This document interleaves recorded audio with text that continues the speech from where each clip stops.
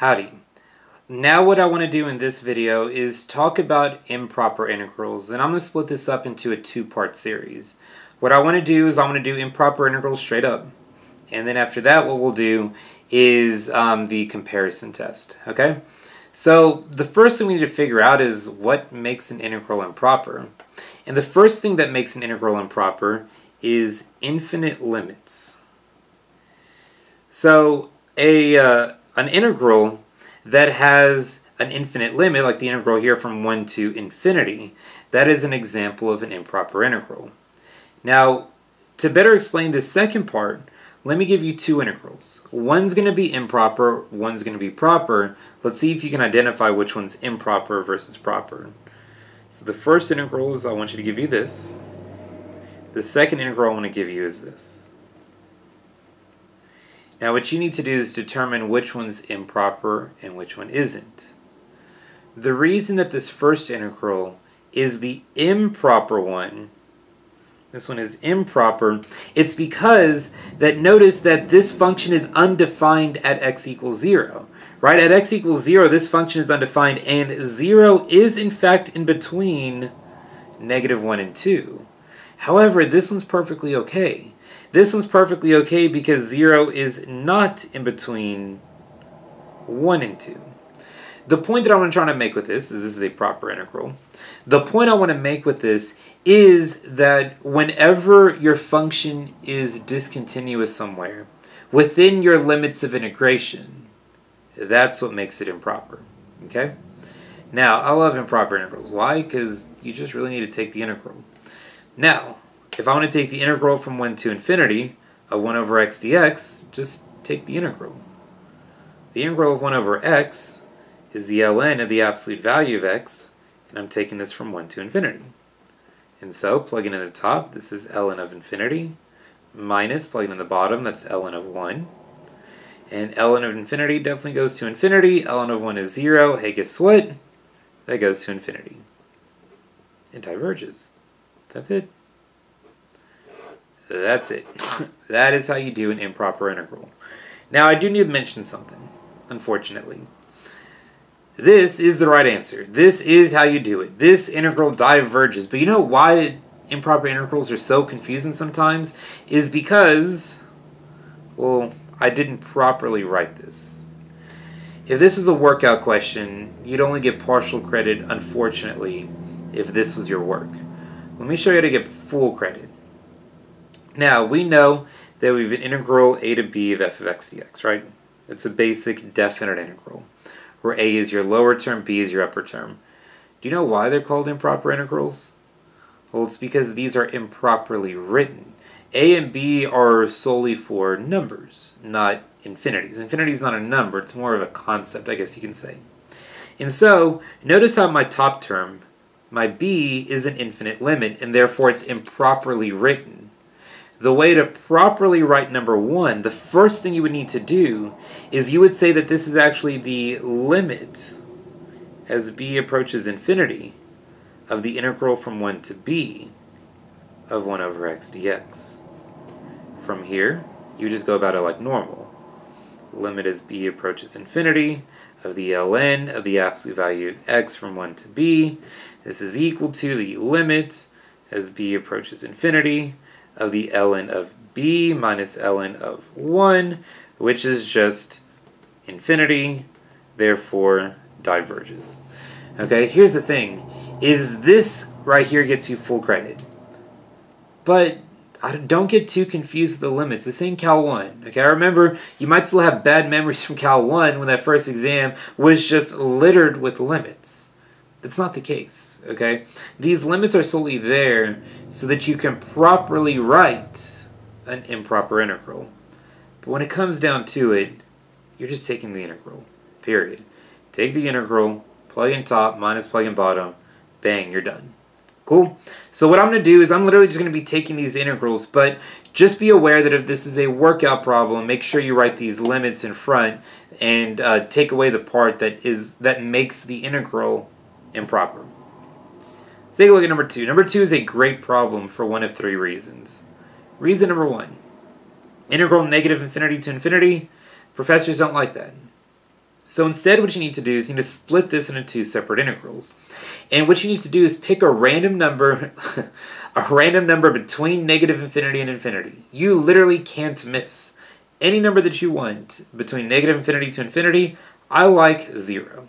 That's just my personal preference. So you'll be taking the integral from negative infinity to zero of 1 over x squared plus 9 plus the integral from 0 to infinity of 1 over x squared plus 9. Okay, and what you're going to do is you're going to do both of these integrals separately and then just add your two sums together. Now, if you remember in a previous video, 1 over x squared plus 9, remember how I said, remember these integrals, because that's going to show up multiple times, especially during a second exam, which is when these questions are normally asked. The integral of 1 over x squared plus 9 is 1 third times the arctangent of x over 3. I'll be taking this integral from negative infinity to 0. This reason number 2, by the way, that this is a real um, important integral, is to note, sure you note this, in case you uh, missed the last video, uh, the integral of 1 over x squared plus a squared is always 1 over a times the arctangent of x over a plus c. Okay, where in this case my a is 3 because 9 is just, well, 3 squared. That's why I get the 1 third arctangent of x over 3. Anyways, so we're going to go plus, and the integral of this is also 1 third times the arctangent of x over 3, and this is going from 0 to infinity. And just like any definite integral, we're going to plug in the top minus plug in the bottom. And so, this is going to be 1 third times, plugging in the top, I'll have the arctangent of 0 minus, plugging in the bottom, I'll have the arctangent of negative infinity. And then plus, I got to do it with this one as well. So I'm going to do 1 third times plug in top minus plug in bottom. Plug in in the top, arctangent of infinity, minus plug in the bottom, arctangent of 0. Remember how I said there are three reasons? Reason number one negative infinity to infinity, you split that into two. Reason number two, remember this integral. And the reason they love arctangents is because of reason number three. Y'all know what the graph of arctangent looks like? Well, here's what it looks like. This is my coordinate system, x and y. Arctangent of x looks like this. Where you have a horizontal asymptote at negative pi over 2 and positive pi over 2. This is the arctangent of x. And the reason that professors and teachers love arctangents when dealing with improper integrals is because arctangent of negative infinity, that goes somewhere. As x approaches negative infinity, arctangent approaches negative pi over 2. And arctangent of positive infinity, as x goes to positive infinity, your arctangent goes to a positive pi over 2. And then finally, arctangent of 0 is just, well, 0. And so what this is going to be, this will be 1 third times, I'm going to have arctangent of 0 is 0, minus arctangent of negative infinity is a negative pi over 2, plus of this 1 third times, arctangent of positive infinity, that goes to positive pi over 2. And so it's going to be pi over 2 minus arctangent of 0. Hey, we know that to be 0. 1 third, here going to be negative or minus a negative pi over 2. So it's going to be 1 third times positive pi over 2, which is pi over 6. 1 third times pi over 2 is pi over 6. That's just 2 pi over 6, which reduces down to pi over 3. And so that's why this integral is going to be pi over 3. And so remember, negative infinity to infinity, split into two integrals, split, you can pick whatever number you want. I like 0. Remember this uh, integral, remember the 1 over x squared plus a squared? It's going to be that arctangent. And finally, know what arctangent of infinity and negative infinity go to. Arctangent of positive infinity goes to a positive pi over 2 arctangent of negative infinity goes to a negative pi over 2. There's one more problem that I want to do though. One more problem, and then what we'll do is we'll do the comparison test in the next video.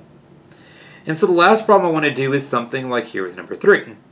For number 3, once again, why is this improper? This is improper because x cannot equal 1, and And 1 is in between 0 and 3.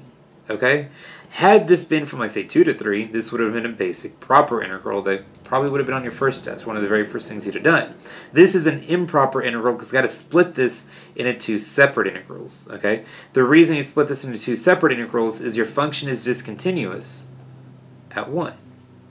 So what you need to do here we're going to take the integral from 0 to 1 of 1 over 1 minus x squared plus then you go from 1 to 3 of 1 over 1 minus x squared.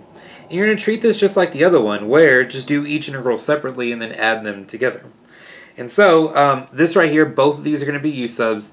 They're pretty easy. u sub, set u equal to 1 minus x, and just go from there.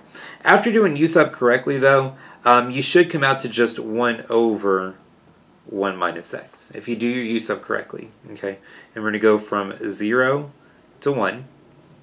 And so by plugging 1 into there, I'm going to have 1 over, well 1 minus 1 is 0, minus, I'm plugging 0 into there, it's 1 over 1. But here's the thing, any number over 0 goes to infinity.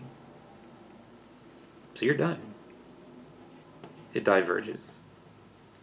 Anytime something goes to infinity, infinity plus or minus anything is just going to be infinite okay? At least in Cal 2, okay? As you get to higher level stuff and start dealing with cardinality, we'll, we'll worry about that a couple years down the road. But for right now, Cal 2, if you have an infinity plus or minus something else, that's going to diverge. Cool? So, this is how you do your basic um, improper integrals. Join me in the next video, what we'll do is I want to spend the next video talking about the comparison test, because look at number 4. You can't integrate that. So join me in the next video so we know and we can learn to determine whether this integral will converge or diverge.